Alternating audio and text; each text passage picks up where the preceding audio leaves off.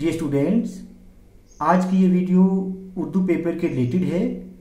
मुझे उम्मीद है कि आप सबने आज का पेपर अच्छे से अटेम्प्ट किया होगा।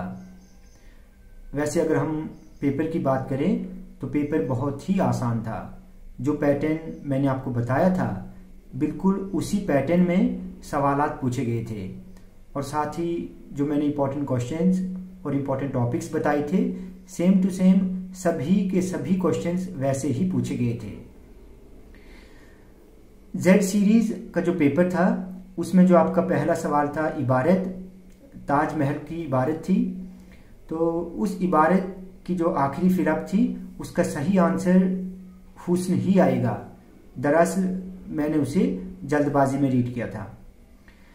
एक और बात कि बहुत सारे बच्चे कह रहे हैं कि रुमाल मुन्नस है। लेकिन एक बात मैं आपको कह दूँ, मैंने आपको पहले भी कहा था कि रुमाल मुजक्कर है।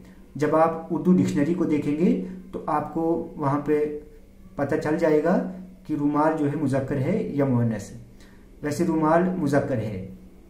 लेकिन जिन बच्चों ने मुन्नस लिखा होगा तो मे बी वो भी ठीक माना जाए, लेकिन रुमाल जो है मुजक्कर है।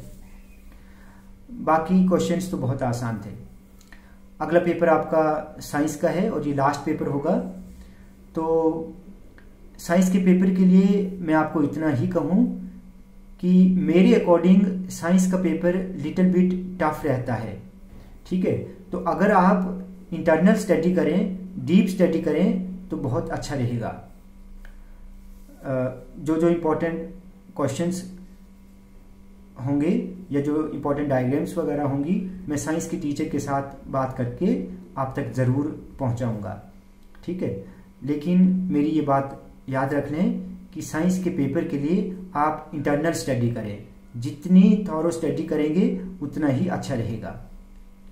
So wish you all the best for the last paper God bless you all